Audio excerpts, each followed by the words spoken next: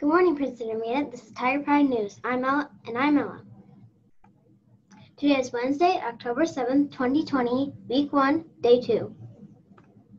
Birthdays for today Anthony Fernandez Sternquist, Emily Je- Jepson, Chelsea Crone, Chloe Crone. Lunch for today personal pan, cheese pizza, raw veggies, fruit, milk. Please stand for the Pledge of Allegiance. Right hand over heart. I pledge allegiance to the flag of the United States of America and to the republic for which it stands, one nation, under God, indivisible, with liberty and justice for all. Be kind today.